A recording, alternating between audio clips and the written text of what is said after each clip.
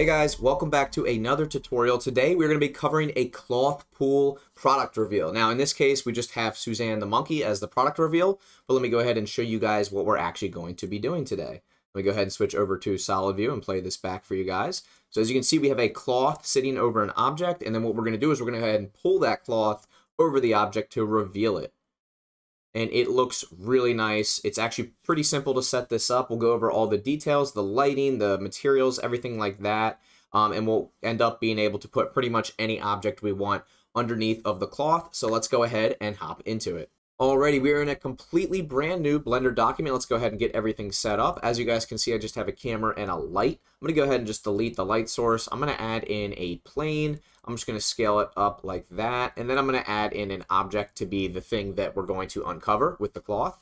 In this case, we're going to use the monkey just for simplicity purposes. I'm going to go ahead and add a subdivision modifier to that monkey, and I'm going to give it two levels. And I'm going to go ahead and shade that smooth. I'm going to go to my side view, and I think I'm just going to rotate this, bring it up right above the floor plane here.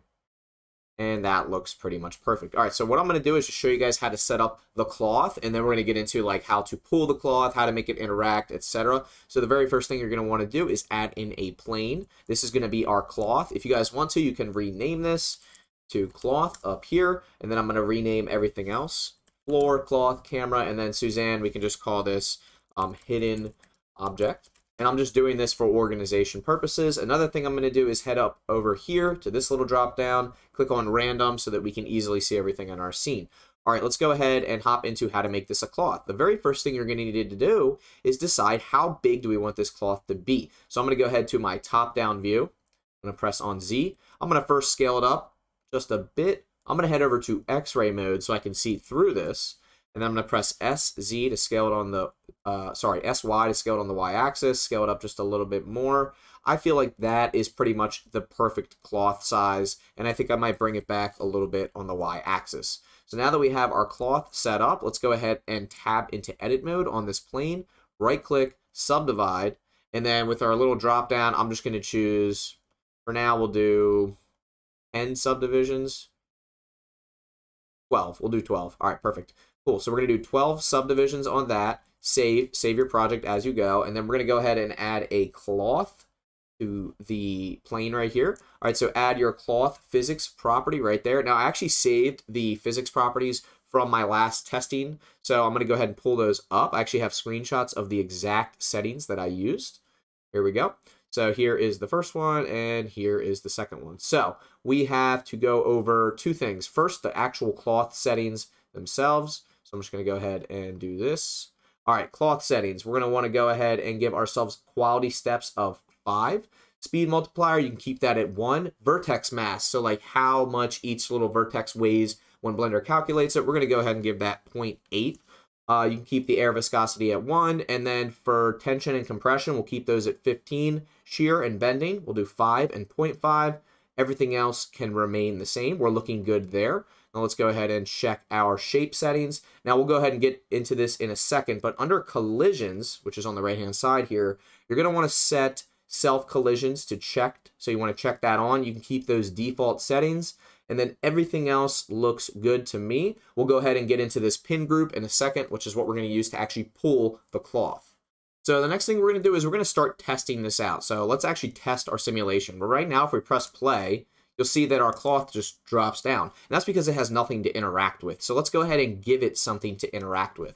First of all, let's go ahead and click on this floor plane. Let's apply a collision modifier. And then we're going to go ahead and click on the monkey and we're going to also give this a collision modifier. Now, if we press play, I'm going to go ahead and save this, by the way. If we press play, we have some interaction. So as you can see, our cloth is now interacting with both Suzanne the monkey and the floor plane, which is fantastic. But you can see it looks a little bit janky. Now, there's a couple of reasons why it looks like this. One, it does not have a ton of subdivisions. So if we go ahead and tab into edit mode, it has a lot, but it doesn't have enough where it's going to look like a realistic cloth. So there's a few ways that we can combat this. One, we can just add subdivisions in edit mode, or we can do what most people do, which is add a subdivision surface modifier. So you always want to make sure that's after the cloth modifier right here. And I'm just going to give this a level of 2, right click, shade auto smooth, and you can see it already looks fantastic. Now, you'll notice if you zoom in, there's a few edges that don't look great. In order to fix those, tab into edit mode, subdivide it one more time.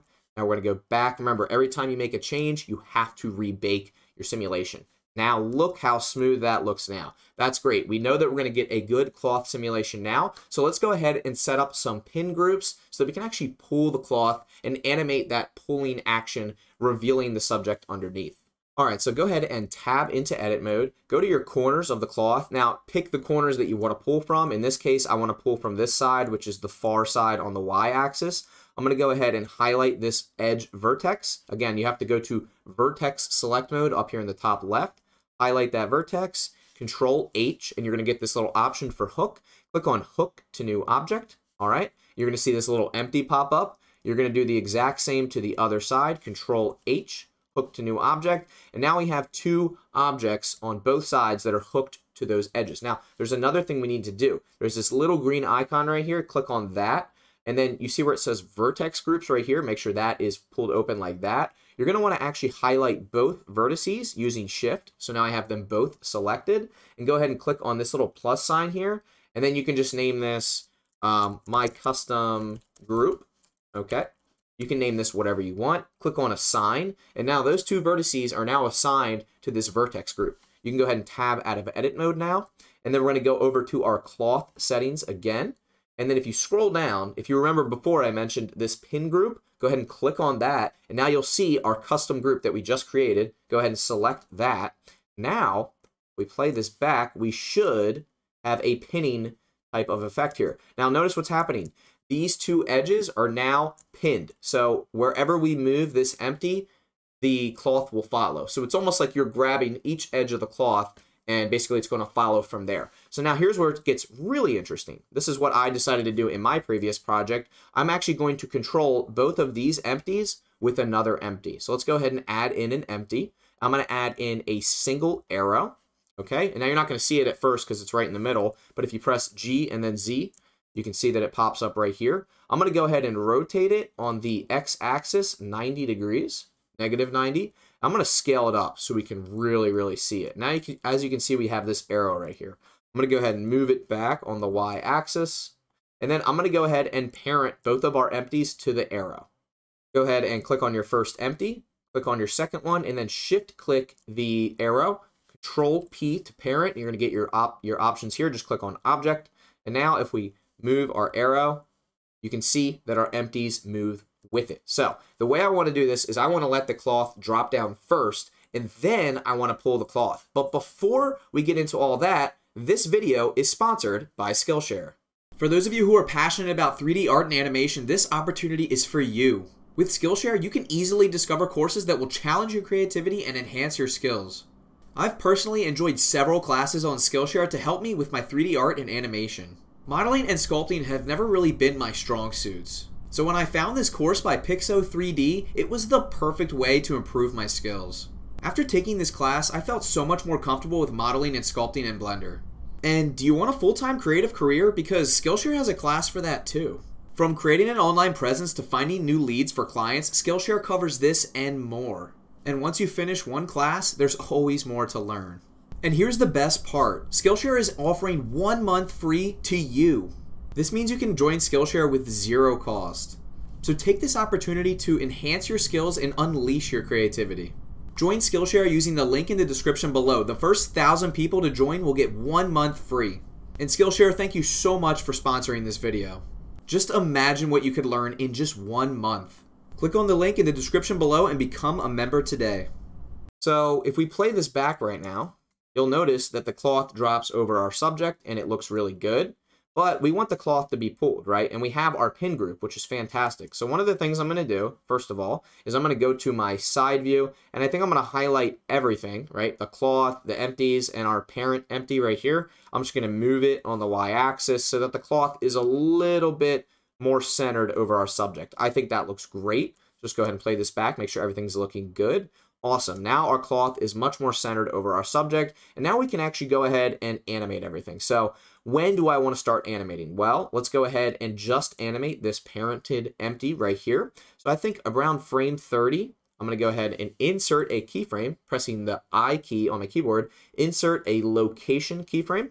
Then I'm going to head over to frame 40, and I'm just going to go ahead and drop this down until those empties are almost touching the floor. Insert another keyframe, and then I'm going to move forward to, how about, let's say, frame 130, and I'm going to move this arrow very far back on the y-axis right about there should be good. And we're going to go ahead and insert another keyframe. Now, I'm going to go ahead and scale up my plane so it has enough room. I'm also going to apply the scale. And now if we play this back, we should have some movement with our cloth. Let's go ahead and take a look. And we will be baking this out. So as you can see, so as you can see, it looks a little glitchy. And I actually ran into this issue and I wanted to address it because you guys will probably run into the same issue. The issue is the order of the modifiers, and it took me a second to realize why this wasn't working. You need the hooks to be above, if you look on the right-hand side here, I'm reorganizing these above the cloth. So now if we save this and we go back and we play it back one more time, and I'm going to hide the subdivision surface so that it, it runs faster. Now if we play this, this simulation, now you can see when our empties drop down, they actually grab the sides of the plane. And then when it pulls back, you can see that we have an awesome cloth reveal. And if we turn our subdivision modifier back on, we play this part back here. Go ahead and zoom in for you guys. You might get some weird glitching, so just keep that in mind as you play back your animation. You know, you're going to need to play it back from frame zero. This is why you usually bake your cloth physics. But as you can see, this looks fantastic. Look at that. You have a nice reveal right here. Now, another thing that I did in the previous uh, project that I worked on is I actually clicked on the subject. I went over to the collision option here, and for the thickness outer, I changed it to 0.03. And the reason I did that is because sometimes you'll get clipping between the cloth and the object, so it just helps to have that little bit of extra area um, just for any mistakes that might happen. All right, another thing we're going to do is we're going to click on our cloth, go to our modifiers, I'm going to collapse everything else, and I'm going to add a solidify modifier to this. And what that's going to do is just give our cloth just a little bit of thickness. I think I'm going to go with a value of 0.005. I feel like that's pretty good. And now let's go ahead and bake this. So in order to bake this simulation with our plane selected, this is our cloth, go to your cloth settings, and you're going to see something called cache right here. Go ahead and pop that open. Now we need to decide how long we want to bake this for. In our case, we're at frame 250. I think that's perfect. Go ahead and click on bake. And when that's done, we'll go ahead and view our simulation. As you can see, it is running through it right there on the bottom. Alrighty, our bake is fully complete. Let's go ahead and check out our simulation. I'm to go ahead and press play. That looks fantastic.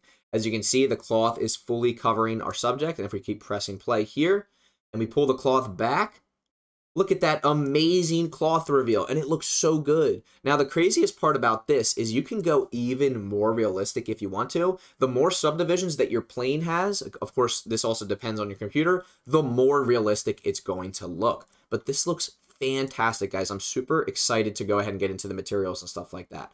All right, let's go ahead and hop into lighting, materials, and camera setup. So we will be rendering this out in cycles. So I'm going to go ahead and check to see if I'm in cycles. I am. I have my GPU enabled. Let's go ahead and go over to rendered view. Now in rendered view, you're not going to see anything because we don't have any lighting or anything on our scene. So the very first thing I'm going to do is head over to my world settings and I'm going to enable an environment texture here. I'm going to go through my HDRI folder. Now in this case, I found that this HDRI right here, which is the power plant mill, um, this is available on Polyhaven. I just thought this lighting looked really nice. Let's go ahead and snap to the camera. Now, since this is for YouTube, I'm going to go ahead and give this dimensions of 1920 by 1080, your classic HD size. That looks really good. And I'm also going to position my camera really far away from the scene so we can get a really nice depth of field effect. So I'm going to go ahead and give this a value of 15, negative 15. Now it's really far away from our subject. I'm going to go ahead and raise it up and I'm just going to try to center our subject the best that I can. This looks fantastic. I'm very happy with this so far. Go ahead and click on the cloth, and let's give the cloth a new material. Now, first of all, before we do that, press A, select everything, right-click, Shade Auto Smooth, just in case something wasn't sh shaded smooth here. Go ahead and click on your cloth. Let's add a new material. I'm just going to give this a nice metallic material with maybe like 0.3 roughness. Just make it look like a soft kind of metallic cloth, kind of like satin. I'm going to go ahead and check my modifiers. Let's go ahead and check the subdivision. It's looking good. Again, if you get these ripples right here, you just need to subdivide and rebake. In my case, I might be able to get away with the modifier. In my case, I can. If I if I bump this up to levels of three, it looks pretty good. So I, I think that's passable for now. If you guys want to enhance that, you can go ahead and just subdivide your plane even more. Now moving forward here on the timeline, all right, so now we can start to see our monkey. So if we go to frame 94, I'm going to click on the monkey. I'm just going to give that a nice metallic shader as well with a low roughness. And I'm going to go ahead and make this look like gold. So I'm just going to give this kind of like a gold color here. Something uh, as close as I can get to it as possible. I think that looks fantastic. Now, the floor, there's a lot we can do with. But before we get into that, I'm going to go ahead and zoom my camera in with an 85 millimeter lens. And I'm also going to give myself a steeper angle on this shot here. 71 degrees. See how, let's see how, uh, how low we can go here. I think that looks really nice there. I might even do a 100 millimeter lens. Fantastic. Maybe an 80 degree shot. Again, depending on how big your floor plane is, you might be able to get away with an even steeper shot. That looks really good. Wow, this looks really good. Okay, cool. And then go ahead and click on your camera, and let's go ahead and enable depth of field. I am going to go to material preview, because this is why I like to enhance the depth of field. And then I'm going to give myself a depth of field of 0.5. And then I'm going to go ahead and adjust the focal distance until the monkey is fully in focus here. I'm going to zoom in so I can really see if the if the monkey is in focus. Again, you guys can choose any subject you want. About 21 meters seems to do it. Now if we go ahead and go back to rendered view, you'll see we have really strong depth of field here. Now, one of the things I did for the previous animation is I actually made my own tiled floor. Now, you don't have to do this, but I'm going to show you how to do it because I think it looks really nice and professional. I'm going to go ahead and add in a cube here just going to raise it up just for modeling purposes. I'm just going to scale it down on the z-axis a little bit like that. Just a little bit more. I think that looks perfect. Go ahead and apply the scale there. Add in a bevel modifier. That looks good. And I'm just going to decrease the amount a little bit. I think that looks fantastic. And then go ahead and add an array modifier. Duplicate the array modifier. Choose the y-axis so you're just going to want to choose one for the first on the x-axis, and we're just going to create an arrayed tile floor this way. In our case, I think I'm going to choose 100 for each count. And as you can see, we have this really nice tiled floor. Go to your top-down view, center that on your scene there, and then I'm going to go ahead and just lower this. Go to my side view. I'm going to lower this below everything. And I'm going to lower it in a way where it's actually covering the other floor, but it still looks like it's under our subjects. I think that looks fantastic. Go ahead and snap back to your camera view. And let's go to rendered view here and let's just see what this looks like. It looks fantastic. Now we can give this a really nice material. In my case, I think black looks really good. So let's go ahead and make this black. And then let's just go ahead and lower that roughness a little bit. Looks really, really nice.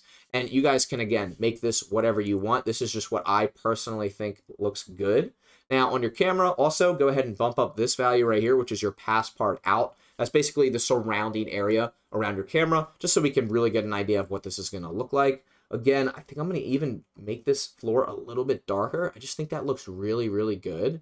All right, cool. Now, the next thing we're going to do is, as you can see, it doesn't really look like Suzanne is quite touching the floor, so I'm actually going to raise the floor up just a little bit. You're going to have to fine tune this to make it work. Let's go ahead and add some lighting in here. Now, HDRI is already providing lighting for our scene, but I also want to go one step further and add in some area lights here. So I'm going to go ahead and add in a light source. I'm going to add in an area light, bring it above Suzanne here. I'm going to give it a value of 500 for now. And then I'm going to give this a shape of rectangle. And then I'm going to go to solid view, zoom in on our light here, and I'm going to stretch it on the y axis make it really, really long. In fact, I'm going to make it longer than the whole plane itself. Now I'm going to raise it up, go to rendered view. And I'm just going to see what this looks like. Let's try a value of a 1,000. Cool. SX2 scaled on the x-axis. Bring it up and then bring it back on the x. Now look at what this is doing to our monkey. We're getting these really sharp lines here. And I really think that looks nice. You can see that depending on where we put it, it's going to look one way or the other. I'm also going to go back to solid view and I'm actually going to duplicate this light source on the X a couple of times. So we kind of have this array of light sources here. Perfect. Now, as you can see, we have four total light sources right here. I'm going to highlight them all, go back to my camera view, go to rendered view. I'm just going to see what they're making our scene look like. You can see the difference if we lower them or raise them up, and if we push them farther or, or down the other way of the x-axis. Sorry, guys. All right, so I think that looks pretty good. Again, you guys don't have to do this. I just think it adds a little bit of an extra touch. And then any frame you go back to, it's going to have some really strong lighting. Another thing you can do to kind of enhance this is go over to your color management, and then you can just kind of bump this up to maybe high contrast. That looks pretty good. Again, this is pretty much your cloth reveal effect. I think this looks fantastic. There's a couple more things I want to go over. Uh, let's go ahead and go to a frame where there's a lot of motion. I think around frame 91. So one thing to keep in mind, your keyframes, you guys can adjust those to whatever you want, depending on um, the speed at which the cloth moves, uh, it's going to give you a completely different effect. There's a lot of different things that are going to affect the way this actually comes out. But regardless, I'm going to go ahead and enable motion blur over here because I want this to look semi-realistic when we actually render this out. Now, in terms of light paths, go to your light path settings. I'm just going to set all these to 3. Should be fine. That looks pretty good to me. You can also enable fast GI approximation if you want. Now, one thing to keep in mind, and I've went over this plenty of times before, look right here under the monkey. When I enable fast GI approximation, look at all the detail you lose when you enable that setting. It's a great setting for saving render time, but you're sacrificing quality. And I don't, you guys can't tell me that you're not, because look at the difference. Look right here. When I un unenable that, look at the difference. It's a very clear difference. So in this case, I'm going to keep it checked off because I think it actually ruins the render. All right, cool. This is looking fantastic. Uh, for our sample count, let's go ahead and do 50. And denoising, we'll just do OptiX. That should be fine. And let's go ahead and render out a frame and see how it looks. Go ahead to render image. All right, let's go ahead and see how this comes out. Very curious. And it's actually pretty quick. Wow. Okay, that was about six seconds for that render. Now, in this case, we're going to need more samples because if you look, even with denoising enabled, uh, our more metallic areas are actually getting a lot of noise. So I think I'm going to raise my sample count up to 150. That should do it. Let's go ahead and check that out. Again, a lot of this and a lot of Blender, in honesty, is is experimenting. Like you have to experiment with the different settings. There is no one size fits all for rendering. In our case, um, this might do it. That's pretty close. 300 is probably a safe bet. We can try for that. Another thing I actually wanted to experiment with real quick before we end this it's darker to see how our lighting changes. Yeah, so this is exactly why I express the my opinion that lighting is so important, and a lot of people will argue against that. But guys, lighting is so incredibly important. It just completely changes your render for for good or for worse. I mean, in this case, this actually isn't terrible right here. I actually don't mind this. But for example, if we change this to an outdoor scene, let's just see how it affects the lighting completely different. This actually looks pretty cool. But again, if this is not what you're going for, you have to try new things. So don't be afraid to just try out different lighting scenarios. That doesn't look terrible either. Again, it really depends on what you guys are looking for. In my case, I'm kind of looking for a darker environment. This one wasn't too bad. And of course, if we go back to the original, this was the original. It also doesn't look terrible. You can also very well just not use an HDRI and instead use a hue and saturation value. If you do that, this is what that would look like. But again, now you're losing all that detail in the gold. So this is why I stress so much about using environment textures or proper lighting because it really is going to drastically affect your render more than you even realize. So let's go ahead and try this one. That doesn't look terrible. We could probably go with that. And I'll probably render this out. I'll probably change this up a little bit before I do the completed render in the thumbnail. But guys, that's pretty much it. We go back to solid view and we play this back, you can see our cloth drops down. I'm also going to turn my subdivision off so you guys can see this. Cloth drops down and then it's pulled over. So now, when you're playing this back, one last thing I wanted to mention, when you're playing this back, it's going to play back quite slowly if you have your subdivision enabled for the viewport. But if you don't, you can see right here, if you look in the top left, I'm getting about 24 frames a second. Now, depending on when you compile your frames, what frame rate you choose, this is about how it will actually play back. So this is actually like playing back almost in real time, especially since we baked our simulation. This looks really good. So that's that's how it's actually going to look. Now you can you can look at this in rendered view, but it's going to look pretty crappy because you don't have your subdivision enabled. This looks really good, especially like right here where everything is fully covered and then the cloth reveals it. I think it just looks fantastic. And you guys can fine tune this to however you like. I really hope you guys enjoyed this tutorial. I hope you found it useful and I hope you're able to use any object you want. Again, you just have to have the collision modifier enabled sorry, collision physics has to be enabled on the object that the cloth is falling over. And I highly suggest that you copy my exact settings from my cloth because if you don't, you might not achieve the same result. There's literally so many little settings in there that you can adjust to get the proper result. Um, in my case, I just thought this looked fantastic, so this is what I'm going with. And you can tell as I go frame by frame how detailed it is once you add that subdivision modifier.